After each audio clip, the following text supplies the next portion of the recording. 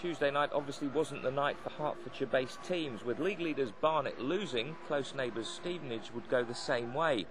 Borough could have pushed up to second with a win over Morecambe. Instead, they slipped up, and it's seen them drop one place to eighth.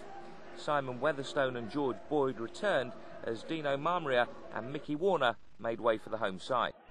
Stevenage in their familiar white shirts and red shorts were attacking the goal to our left.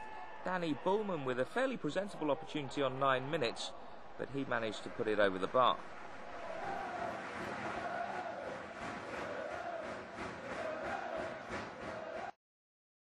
Now, when is a wall not a wall? When Stevenage have given away a free kick. Kieran Walmsley's free kick trickled in from 35 yards out, untouched by anybody.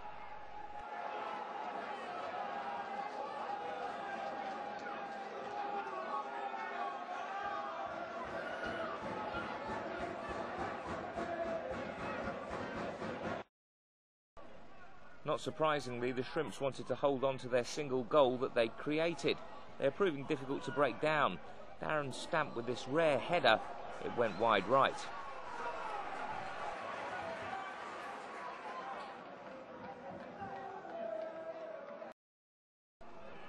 Well into the second half, and it was Stamp again with a header, this time coming slightly closer as he hit the woodwork.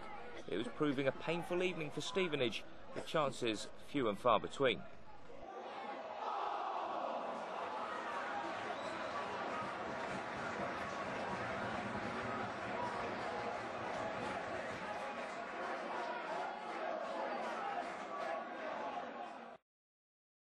It was almost becoming the Darren Stamp show, though, for Stevenage, and again another missed header, this time from a Danny Bulman corner.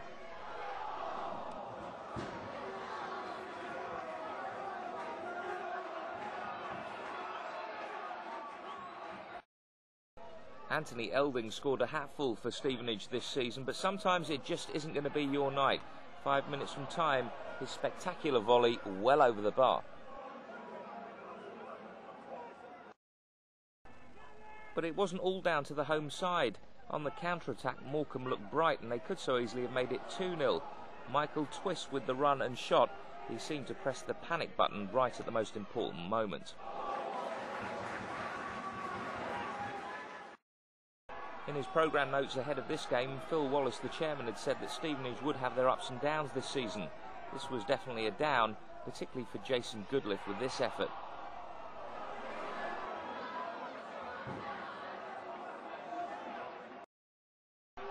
Five minutes of injury time played in this game, and Morecambe could so easily have made it two on the stroke of full time. Thankfully, the keeper came to the rescue, but it was still defeat for Stevenage as they went down at Broadhall Way by one goal to nil.